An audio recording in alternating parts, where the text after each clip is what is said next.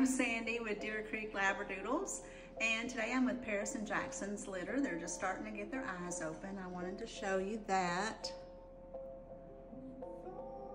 But we really need your help today. We're trying to come up with a theme for this litter.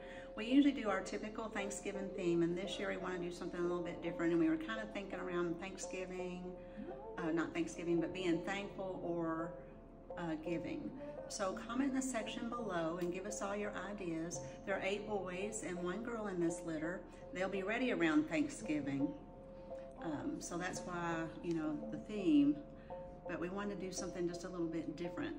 So be sure to comment in the section below and give us all your theme ideas. We would love to see them. Let us know where you're watching us from.